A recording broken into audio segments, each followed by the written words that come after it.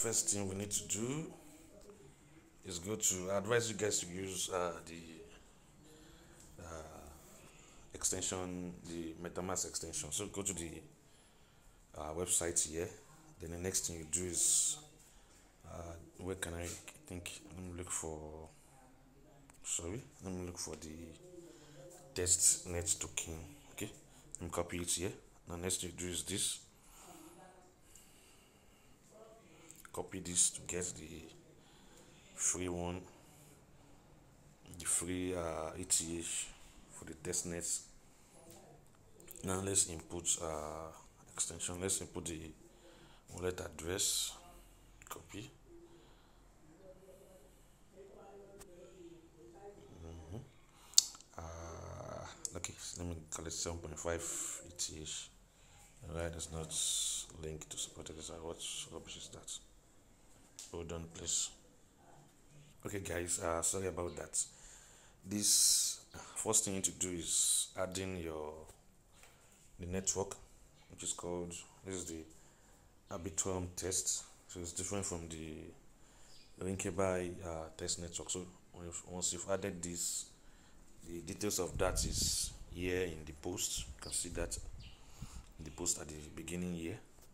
Once you've done that mm, next thing you do is go to the site which is this opswap.io then go to you connect your wallet should know how to do that by now. Then go to assets. Uh, I don't want this cancel because I've done this before. Then go to the top here. And go to faucets. Then input your wallet address. That one is going to give me is, is planning to give me 0.5 ETH and 1500 uh, USDT but here I can get 1 ETH and 3000 USDT so I click get coin for the test. This is test uh, coin please don't forget. So wait for it to be successful.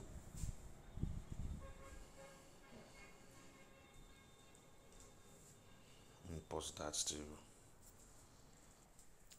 I'm sorry it is uh, successful now but I used the previous wallet address. So I will try and so you can just paste your wallet address here and click get coin. You see the history below here. So let me just quickly get it uh, on another device because this will take another 24 hours. Then I'll be back. Okay I've managed to get uh, 0.5 uh, ETH and 1500 USDT so basically you've connected your wallet address here.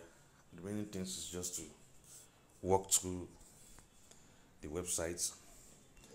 I think uh, let me swap some uh, what is this? Okay let me swap some USDT to ETH start by doing that. Okay swap.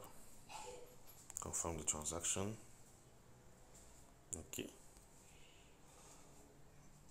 mm. confirm. It's going to ask for it twice. I go back to the uh, wallet address okay that's been added. Now you can go to capital and add liquidity. Add liquidity remove liquidity and i think the contract liquidity is the basic one mentioned in the uh, note copied. Let me check it again okay? Okay. Hold on a bit get that for you. Okay you can do normal liquidity. Let's let me try to get 200 USDT add liquidity. Confirm the liquidity the new one. That means twice per transaction. You can close that and get back to this place. Now liquidity will be added already. Okay. Liquidity added you can see that by seeing the difference in your balance 800 and 0.5 uh, 9 ETH now you can also go to contract liquidity and do that also. Now USD condo let me add uh, another let me add a 400 okay deposit. confirm.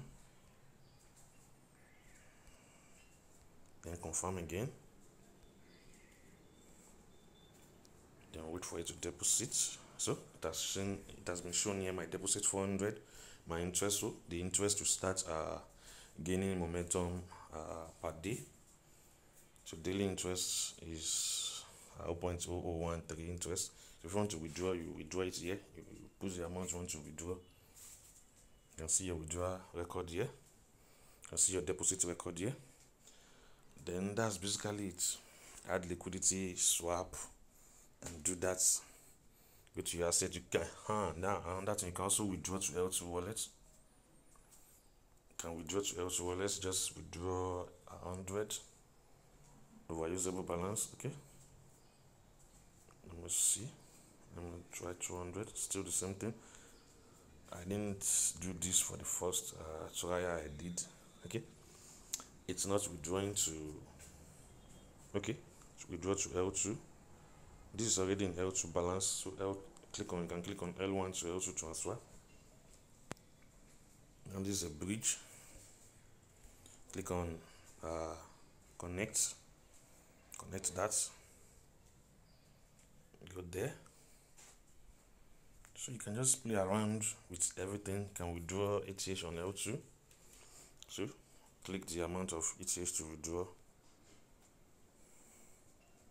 Click on withdraw.